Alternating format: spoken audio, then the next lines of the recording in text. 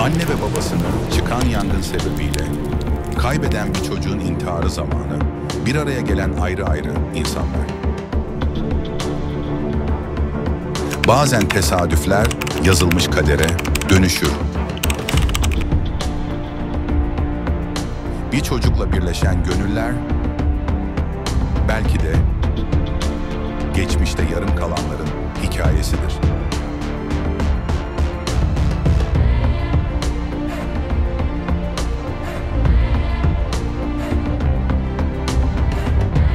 yarım kalanlar.